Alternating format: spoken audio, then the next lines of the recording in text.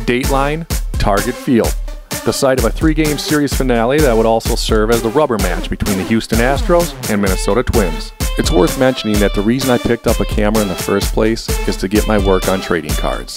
It's what motivates me, and it's totally shaped the way I cover games. Now, don't get me wrong, a key moment in a pivotal game is great, and I've been lucky enough to capture a few of them. But you land a card of the right player, it's going in a top loader or in a one touch, and it's going to be cherished forever.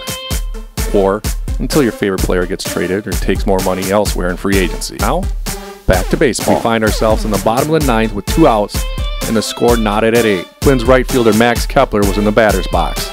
No need to sort out the details of how we arrived here, because in a few moments, it wasn't going to matter. Max had just missed on a four seam fastball for strike one when I leaned over to my buddy Harrison and called the shot. Walk off. Five pitches later, and the count now full. Boom. Kep had just walked off the Astros and incited a riot. As Max rounded the bases, his teammates jumped out of the dugout, grabbing whatever they could along the way to greet him at home. And as Max crossed home plate, he was customarily doused with water and peppered with pieces of chewing gum, still in the wrapper, of course, and sunflower seeds. Max playfully ran for his life with a smile he's probably still wearing. Knowing that this was a perfect moment for a Topps Now card, I head to the workroom to edit and send my selects. Topps commemorates the biggest plays throughout the season with specially produced cards that are only available online and for a 24 hour period. I quickly edited 9 frames and sent them off.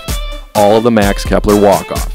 Sure, I could have sent a lot more, and eventually would with my seconds, but when something like this happens, it's the only thing that matters. 18 hours later, this frame was a Topps Now card of Kep's walk-off homer on the reigning world champions. Two minutes later, the 10-year-old version of me high-fives the current version of me as we promptly order the card from Topps Online, which should be here in three to five business days. Side note, I was lucky enough to be covering a game on June 12th of 2016 when Max hit a three-run walk-off shot against Boston in the bottom of the 10th. It also happened to be his first career big league round tripper. How cool is that?